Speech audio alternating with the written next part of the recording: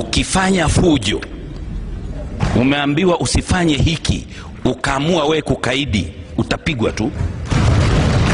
Eh, maana maana hakuna namna nyingine. Eh, maana lazima wote tukubaliane kwamba nchi hii tunaiendesha kwa misingi ya kisheria. Sasa kama wewe umekaidi hutaki unaona kwamba ni, ni mara zaidi wewe ndio jeuri zaidi watakupiga tu na mi nasema mwapige tu kwa sababu hakuna namna nyingine. Eh, maana maana tumechoka sasa.